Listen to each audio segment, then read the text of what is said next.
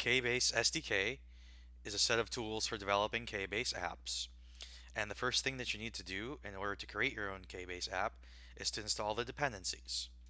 So let's go ahead and click on installing the KBase dependencies, the KBase SDK dependencies, and let's see what we got.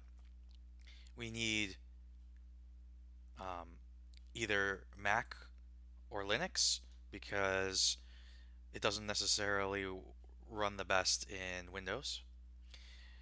We don't need Java because we're going to be doing a Docker based installation. I'm going to need Xcode because I'm on a Mac. You need Git. And we finally, we need Docker.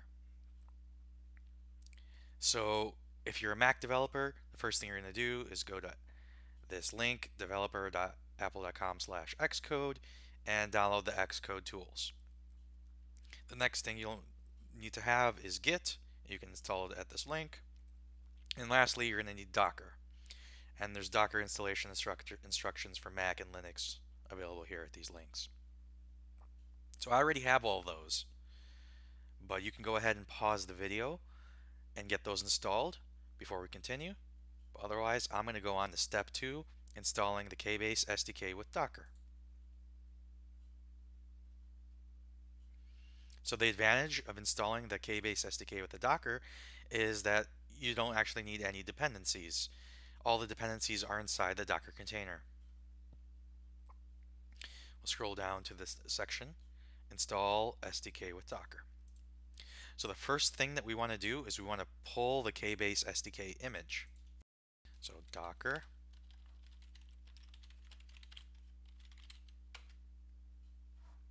All right, I already have the latest image on my machine, but this will take some time on your machine to pull down the, the KBase SDK image. So feel free to pause the video at this point. Otherwise, we're going to go on and we're going to now we're going to add the KB SDK executable to our path. The first thing that we need to do for that is to make a directory for the executable to go to. So I like to put it in a directory called bin in my home directory. So you would do something like this. And I already have that directory. Once you've created a directory for where you want to put the KB SDK, you'll run the following command, docker run kbase slash kb SDK genscript.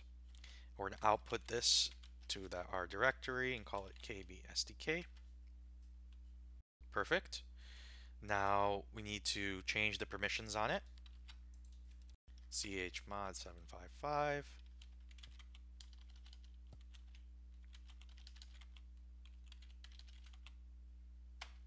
Perfect. Just change the permissions. Now the last thing is we want to add this executable to our path. You can either edit your dot .profile, dot .bashrc file and add it there, or you can run it temporarily like so. Export path equals path home bin. And now the KB SDK has been added to our path. And I can check that out by doing which KB SDK. So now I can do KB SDK help. And it's working. Perfect. Now the next step that we need to do is download the SDK based Docker image. This is the Docker image that we've pre-compiled for you. We have various runtimes, bioinformatics tools, other libraries, KBase specific tools and libraries. You won't need to worry about setting up your own Docker image if you use ours. So in order to do that, you run kb sdk sdk base. And I already have it on my machine. Here it is, kbase slash kbase SDK base 2, and it's the latest version.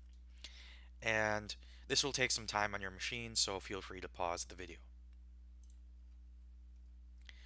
Now that your KBase SDK and the Docker image environment have been installed, we'll go on to the last step in this video, create the module. So today we're, we're just going to create an example module called contig filters which filters contigs in an assembly file. So if we scroll down to the create module section, we'll see that there are some various options. There's KB SDK initialize, dash EV, for example application, dash L for the language, dash U for the username, and then the module name. What I'm going to go ahead and do, and you should do this as well, is we're going to initialize a new app. So KB SDK init dash E for example. We don't need to choose Python because it's already in Python. And we're going to do dash U. And this is where you type in your KBase username. And then we're going to name the app our username, contig, filter, and then whatever you want to call it.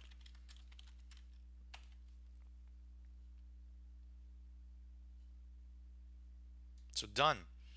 The module was auto-generated. So what I have to do next is change it to this directory, then I can make it, and then I can test it. So let's go ahead and take a quick look at the new module. Here it is. This was just generated. So there's a lot of different things that have been generated. The things that you will most often be looking at will be your Docker file, which here is the uh, SDK base 2 image I was talking about earlier. We're using it for this example app. Our kbase.yaml file, which has the name of the application. You can see we did that in the beginning, and here it is. It's also important to know about the spec file. And the spec file contains everything about your application, its inputs and outputs. We won't need to edit this or don't need to go too deeply in, into it in this video, but it's good to know that it exists. And then the next step that we need to do is we need to rename the application. So we'll go to UI, go to narrative, we'll go to methods, and we'll go to this display.yaml file. So right now it's called filter contigs. Let's call it filter. Let's remove this space and put your username.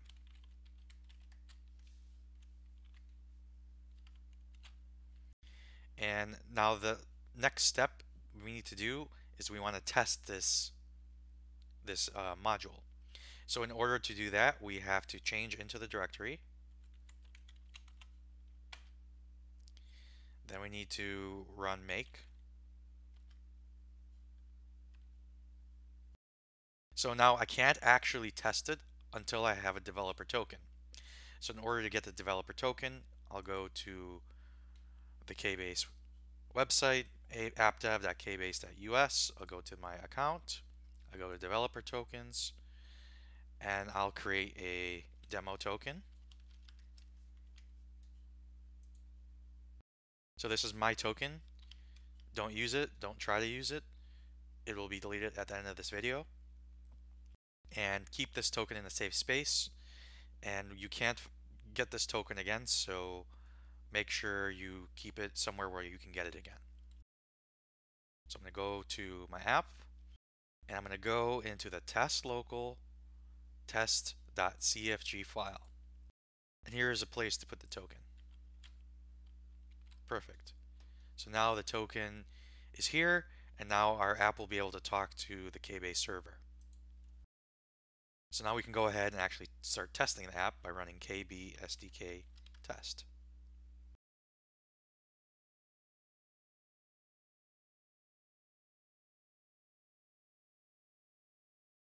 So now we're running through all the tests.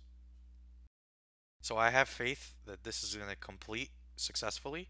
So let's go ahead and move on to how do we get this example module onto the KBase website.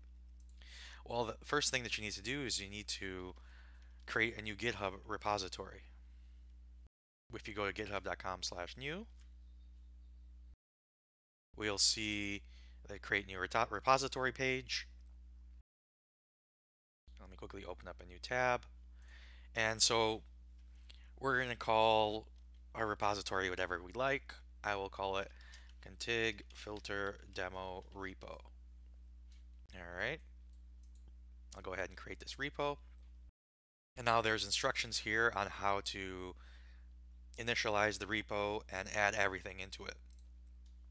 So I'm inside the contig filter application demo file folder and I'm going to run git init. So now I've initialized the empty git repository and I will do a git add star. And this adds everything in my directory to GitHub. And you'll see that there's a warning that says the test local is ignored by your git ignore file. And that's great. That means our token is not being uploaded to GitHub. Now that I've added everything in this directory I can do my first commit. Alright then I need to add a remote origin which is this git repo URL And lastly, I can do a git push or origin master. And it's done pushing, and I will refresh it. And here we go. There is my contig filter app, a KBase module generated by the KBase SDK. So now that we've up uploaded it to GitHub, we can go ahead and copy the URL of this repo and we'll go back to KBase, we'll go to the catalog, and then we're going to add a new module. We'll put in the GitHub URL, we'll hit register. Now what's going on is the registration has begun and KBase is pulling the repo. Then Docker is building the instructions in a Docker build and it's compiling and the catalog has now successfully registered this application. You can see all the information about what happened inside this scroll box. So now we've successfully registered this application and the last thing that we need to do is actually run it. So let's go to the dashboard, create a new narrative,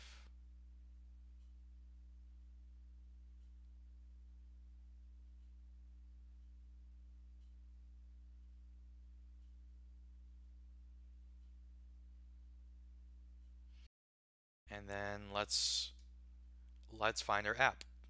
So if we recall from earlier, I named my app filter contigs bsadkin2 so I can go search for the app in this app section. The first thing I want to do is hit this toggle and toggle between the release beta and dev versions to get to the dev versions. Now I can go click search. I can type the name of my app and it's over here in the uncategorized section. Here it is. And I've just added it. Collapse this cell. And here we go. It's the app that we just generated. This right here is being created by whatever's defined in this spec.json file. So the last step in this video is we're going to go ahead and actually run this. And in order to do that, we need an assembly. And to do that, we'll add the data from the example section. And we'll go down to an example assembly, add it. Now can see it in the dropdown. And then I will filter contigs with a minimum length of 2000 base pairs.